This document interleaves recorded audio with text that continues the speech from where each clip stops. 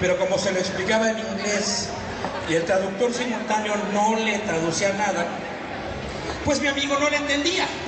Entonces mi amigo no llegaba a un buen resultado a la hora de doblar a Homero. En ese momento el gringo se fastidia y dice, let's take a break. O sea, vamos a darnos un descanso. Y entonces en ese momento aprovecha el gerente de la compañía para volverme a agarrar de la mano, me mete del lado de la cabina y le dice al gringo, no, no, no, espéreme tantito, no, no, no, corte porque puede usted mientras probar a este, mientras, a este yo, puede probar a este mientras yo voy por un actor. ¡Otra vez! ¡Otra vez! Me insulta el desgraciado.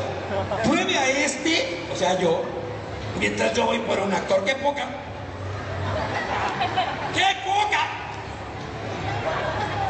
¡Qué poca! No sirve tanto. Oye, tú no sirves tanto. No sirve tanto. Quería. Es que no Es que nos desconectan. Cuando alguien dice grosería se desconecta solo, por eso no sirve.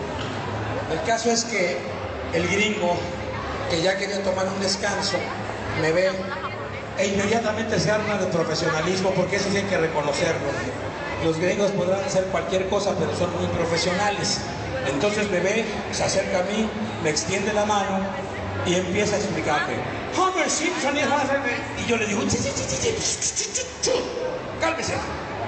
Lo traté con una prepotencia porque yo estaba harto, tenía 20 minutos afuera escuchando lo que el gringo decía y el otro idiota no le traducía y el otro menso de mi amigo no aprendía. Le digo, espérenme, tengo 20 minutos allá afuera oyendo su explicación y ya sé qué es lo que quiere. Ah, ¿y yo por qué sabía lo que quiere? Porque mi madre, en paz descanse, en gloria esté. Mi madre tiene que estar en gloria después de haber parido esta porquería. ¿Te imaginas? Cuando le entregaron esto a tenga señora su hijo. ¡Ah! Eso ha de haber dicho. Entonces, mi madre, que Dios tenga en su gloria, me mandó a Estados Unidos a estudiar inglés o no sé qué. Y yo fui allá y viví algún tiempo en Estados Unidos y conviví con los gringos. Y aquí como me ven, fíjate bien, pues yo tengo facha de, de sueco, ¿no? Soy alto, rubio, Mira, mis ojos son azules, ya toma bien. Acércate, mi vida. Tú acércate hasta acá porque no ves bien. Hasta que estés aquí cerquita de pecho. Bueno, voy a caer. Ya ves que yo tengo los ojos azules, la piel blanca, el cabello rubio y este y muy abundante, mira. Chino. Y estoy buenísimo. No, hombre, ¿qué voy a estar? Yo soy mexicano, yo soy la raza. Mi padre, eh, cuando yo nací, era un obrero de la cervecería Montezuma en Orizaba. Entonces yo soy del pueblo, soy el pueblo mexicano. Y cuando fui a Estados Unidos, que mi mamá me mandó, me, mandó pues me junté con el pueblo de Estados Unidos. Y con ellos viví cosas muy fuertes, como el fin de la guerra de Vietnam, cuando echaron a Richard Nixon cuando regresaban los muchachos, mis vecinos o compañeros de la escuela de la guerra de Vietnam sin brazos o de plano no regresaban. Entonces viví cosas muy fuertes con ellos allá en Estados Unidos, como pueblo que soy, como pueblo que eran ellos. El pueblo de los Estados Unidos es una cosa y sus gobernantes es otra.